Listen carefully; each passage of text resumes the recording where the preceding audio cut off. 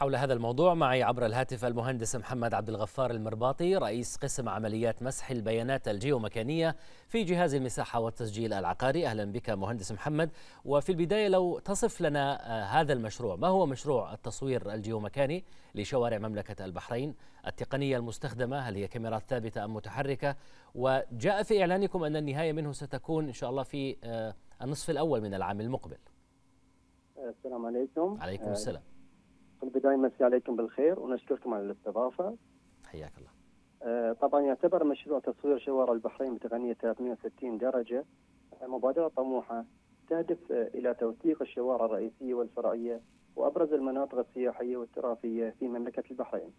بشكل ثلاثي الأبعاد وهذه طبعا من خلال التقاط صور بانورامية 360 درجة لكل موقع. وطبعا الهدف من هذه المشروع هو إطلاق ميزة التجول الافتراضي.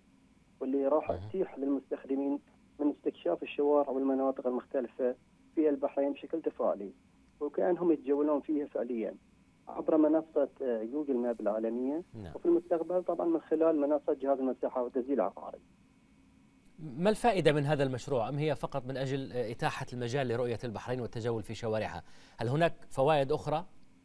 آه، طبعا هذه المبادرة في الواقع تي في إطار سلسلة من المشاريع اللي تبناها جهاز المساحة والتسجيل العقاري. نعم. واللي تندرج ضمن برنامج التحول والتطوير الشامل اللي من أهم أهدافه تطوير الأنظمة وتعزيز التحول الرقمي نحو تدعيم تكامل منظومة الذكاء الاصطناعي في قطاع إنتاج الخرائط الوطنية حيث يمثل المشروع إضافة كبيرة للبحرين على مستويين المحلي والعالمي.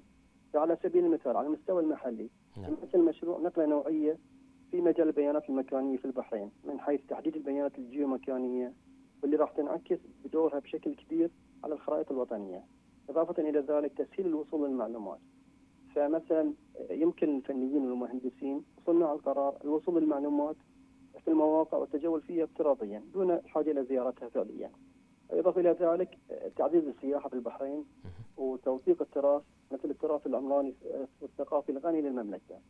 وأما على الصعيد العالمي راح يكون المشروع قادر على تعريف العالم بمملكة البحرين حيث راح يعزز المشروع مكانة المملكة على الخريطة السياحية العالمية. ويبرز جمالها وتنوعها الثقافي. من خلال ميزة التجول الافتراضي في شوارع ومناطق مملكة البحرين من أي مكان في العالم. نعم.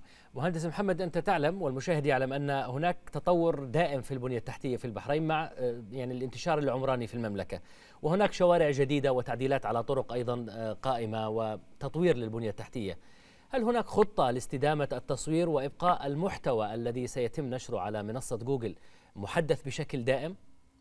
آه، طبعا أكيد آه، وتحقيق هذه الاستدامة للمشروع تم وضع خطة متكاملة من خلال جداول زمنية محددة لتغطية جميع الشوارع المدرجة في المشروع نعم. طبعا مع مراعاة التغيرات المستمرة في البيئة العمرانية آه، بالإضافة إلى التعاون مع الجهات الحكومية والخاصة ذات الصلة مثل وزارة الداخلية مجلس التنمية الاقتصادية وهيئة البحرين للثقافة والآثار وهيئة السياحة والمعارض طبعا ذلك لتسهيل عملية التصوير والحصول على البيانات اللازمة.